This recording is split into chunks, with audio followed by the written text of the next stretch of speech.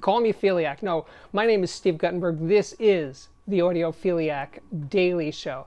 And today, well, today it is all about the PSB Speakers AM5 active speaker. Yeah, Steve's going active today.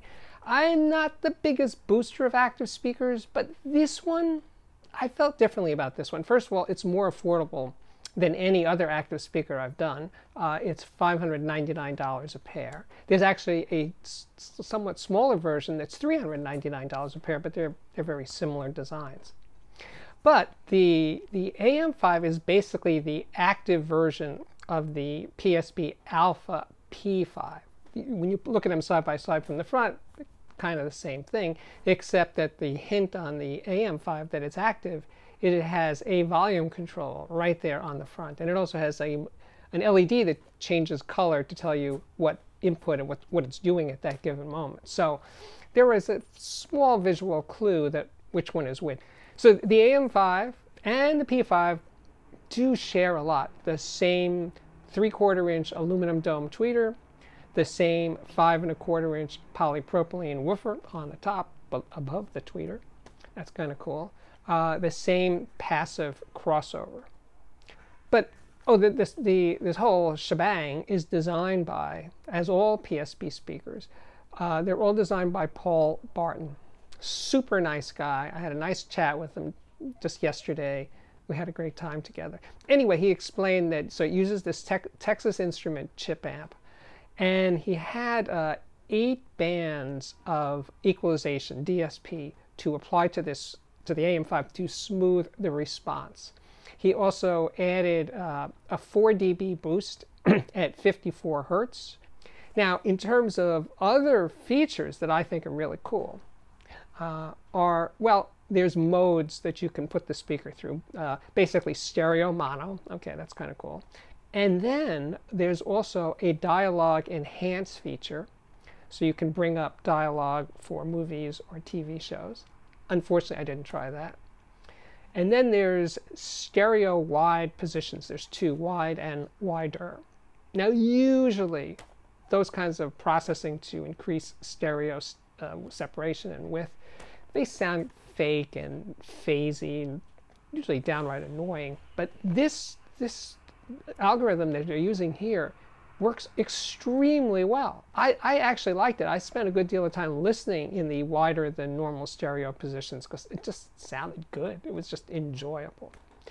So I like that a lot. Now, but seriously, for most of my hard-nosed reviewing time, I was listening in plain vanilla stereo.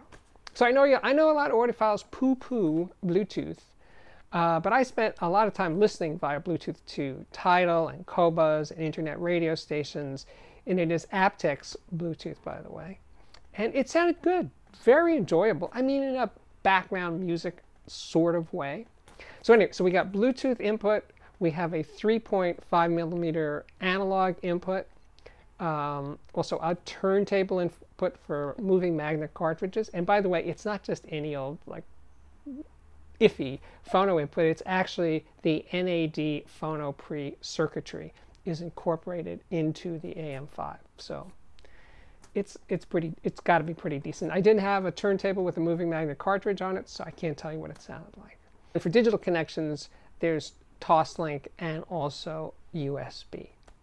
The DAC inside the speaker is um, limited to 48K 16-bit, so nothing fancy nothing high res going on here. And you know what? For this kind of speaker, I don't see that as a major uh, issue, not for me at least. So that's where we stand in terms of features. Now, I would say my main gripe with this speaker was its user interface. Now, it has a remote control for volume, but also to set the modes what, that I discussed earlier and also there's a subwoofer output. The, there's an RCA subwoofer output jack on the back panel. and on the remote, you can select uh, to high pass the speaker so that it's not getting the lowest frequencies, or you can run it full range. But the thing is, uh, you can't tell whether you're in or out of that subwoofer mode because there's no indication on the speaker. There's no display on the speaker. So if you accidentally hit that button, you probably wouldn't notice it until you realize the speaker is not making much bass. So I wish there was a display on the front panel uh, of the speaker. Now I also like that it has bass and treble controls. Uh, but again, you can get lost in the bass and treble controls because you won't know where they are in terms of boost or cut, except by toggling them up and down via the buttons and then finding the center again where the bass and treble are flat. I wish there was a simpler way to do that. You're, you're basically telling by the LED is changing colors as it's going up and down. Seems kind of mm, not, not crazy about that. And it's too easy to accidentally hit the, the mode button or the bass and treble or the subwoofer buttons on there and not know that you've done it. So, But you know, once you get used to it, I, I'm just reviewing it for a few days. Once you live with the product, I think that that kind of stuff just naturally beca- it becomes a non-issue. So I see this speaker as a music lover speaker. Uh, somebody who just wants to play tunes. They don't want to mess around with boxes and cables and trying things out. They just want to have fun with, with their music. And that, I think the AM5 does a really good job with. So my first recording that I played was by David Johansen. Maybe you guys remember David Johansen. He was in the New York Dolls, and later he became uh, his alter ego was Buster Poindexter. But he made a few records for Chesky uh, back in the day, and I was present at those sessions. And I gotta say, he was having fun. Uh, he enjoyed recording live to two track. He just there was a directness to the sound that appealed to him and he was really singing out. You know, he was like wailing. He was, you know, he's singing over the band. He doesn't have a separate microphone for him. There's only a at that point one stereo microphone. So he had to really belt it out, and he was into that. He really, really was. And uh, the music isn't dynamically compressed or EQ'd, and I was very happy with the way the AM5 handled Johansen's bellowing vocals. He could really wail. And the speaker had no problem keeping up with Mr. Johansen. From David Johansen, I went to Son of Dave. Now, Son of Dave, uh, I think he actually came from Crash Test Dummies, the band Crash Test Dummies. Anyway, Son of Dave takes a very contemporary approach to blues. It feels doesn't feel like he's trying to recreate 1955 or anything and he's having fun. It's it's light, but he's he has a sense of groove and pace and rhythm that really appealed to me, and that was cool. But I will say the speaker, the AM5, to me seemed a tad bright. So I scooched down with bass and treble controls. I took the treble down one or two notches. I brought the bass up one notch, and I stayed in that position a lot of the time. I also listened flat but especially with you know contemporary compressed music like Son of Dave, I preferred the treble down, bass up a little tiny bit. Com compared to the, the Bowers and Wilkins 607 S2 Anniversary Edition speaker I just reviewed, which is $699 a pair. Now that speaker is a more refined, more audiophile oriented speaker. It's much more transparent, it's more open sounding, its bass is faster and very clean compared to the AM5. The AM5 is a, a, few notches down from what the 607 sounded like here, and that I just did very, very recently. But the 607 requires you know, a separate amplifier and possibly a DAC, etc., etc., to make it really strut its stuff. The AM5 is uh, hook up your sources and you're good to go. Speaking of bass, I played this, this, this group called Evolution of Dub, and they have a version of Duke of Earl, the 1950s, I guess, doo-wop soon. It's an instrumental, and it was so much fun. And the AM5 just like laid down that groove, man. It was solid. I never felt like I needed to add a subwoofer. It's a little speaker with a five and a quarter inch, but maybe thanks to that DSP that uh, Paul Barton dialed in, this speaker's low end is very, very satisfying. So I played some Pink Floyd. Now I have this collection called Pink Floyd the early years. There's a whole bunch of these compilations that came out, and this one that I'm showing you now, uh, I I love the pre Dark Side of the Moon Pink Floyd. Now I know I'm in a minority here. I think most of you guys are Dark Side of the Moon forward. I like the early, more experimental side, the more ambient side. Just it had more of an edge, you know, especially the like the freak out tunes like Interstellar Overdrive or Set the Controls for the Heart of the Sun, that kind of stuff. Yeah, that's more Steve than Dark Side of the Moon. I, I like Dark Side of the Moon and I kind of like The Wall, but it's really the early stuff that that gets to me.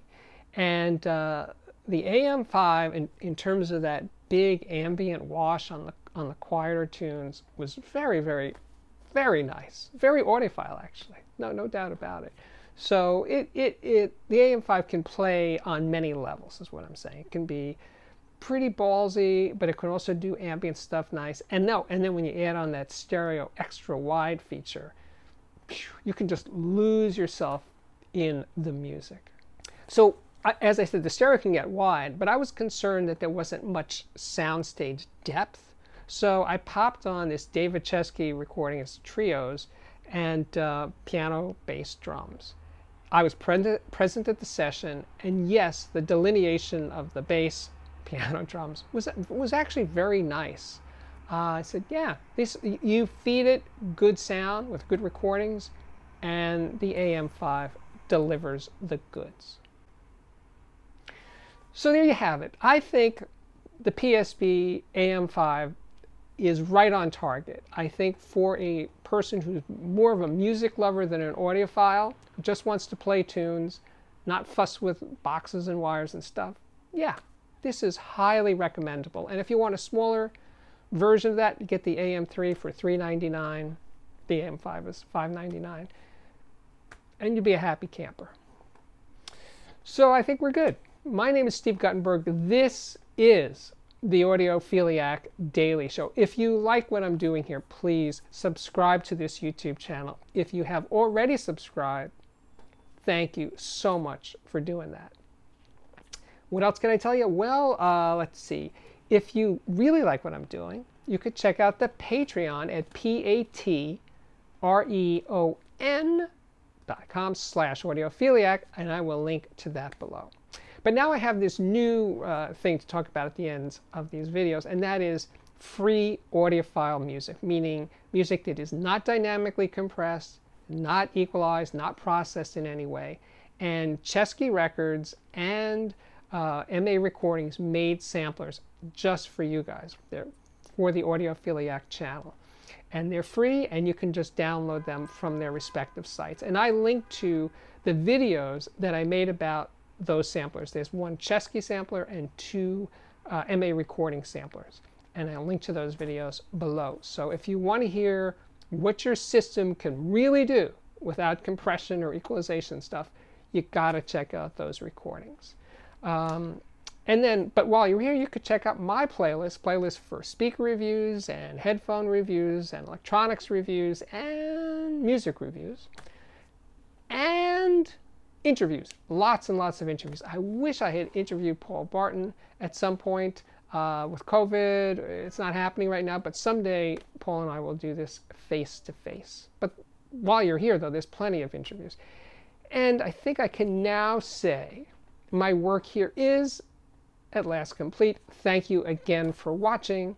And I really do hope to see you back here again very, very soon. 拜拜。